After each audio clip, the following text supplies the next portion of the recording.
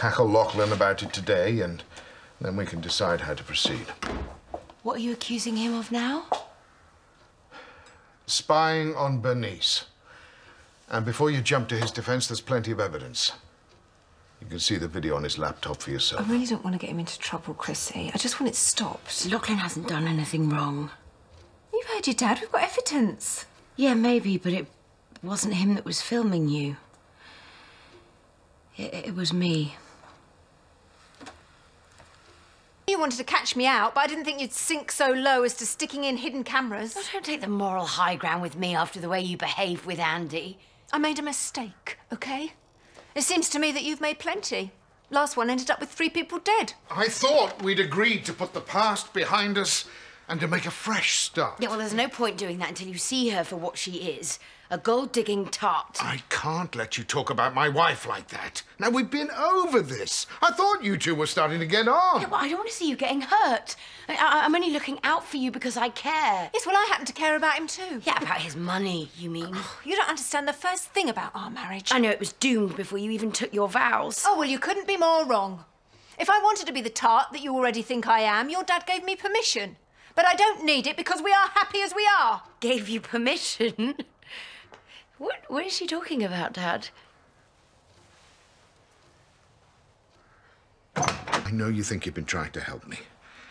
Maybe after the way Robert behaved, you think that all marriages are doomed. But Bernice and I, we know we can be happy together. All I'm asking of you is to give us the chance to try. Will you promise me at least that much? Hmm? If that's what you want. Thank you. Anything to add, Bernice? I just want to feel safe in my own home. So no more hidden cameras, no more honey traps. Okay? You have my word. Good. Then I think we can put this whole unfortunate mess behind us. No, not not yet. You said you'd give us a chance. Yes, and I will. When she's explained what she meant by you giving her permission. I, uh, I think it might be easiest if you leave me alone with my daughter for a few minutes.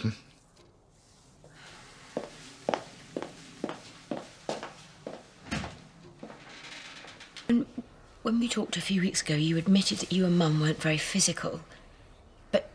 But if this means what I think it does, you can't expect it to persuade me to like Bernice. It's not something I really want to discuss. I, I just want to reassure you that Bernice is far from being a gold digger. In fact, she also had reservations about this marriage.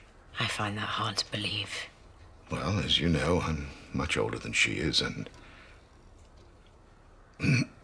less interested in the physical side. In fact, I was open enough to tell her that that need not form part of this marriage at all.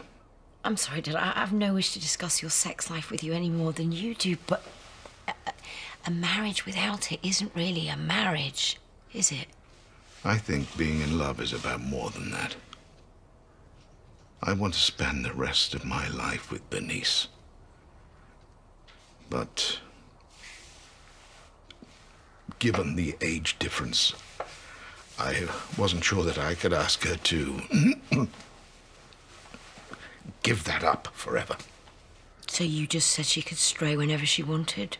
I was willing to, yes, as long as she was discreet, but she didn't want to.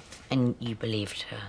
Well, I was the one who suggested it, so she had no reason to lie. Yeah, maybe not, but you would never have offered her this deal if you really loved her. You're wrong.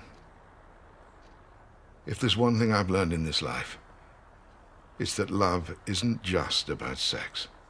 But you and Mum had a perfectly normal marriage.